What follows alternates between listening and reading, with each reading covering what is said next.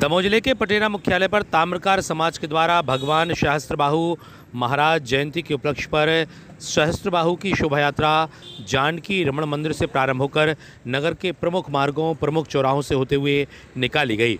हर चौराहे पर शोभा यात्रा का भव्य स्वागत नगर की चौरसे समाज, सोनी समाज और नगर परिषद द्वारा किया गया और पुनः शोभा यात्रा जानकी रमण मंदिर में पहुंचकर समाप्त हुई।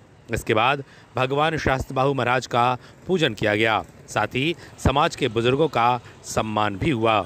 आयोजन के दौरान विभिन्न सांस्कृतिक कार्यक्रम संपन्न किए गए। एशियन न्यूज़ के लिए संजय शुक्ला की रिपोर्ट।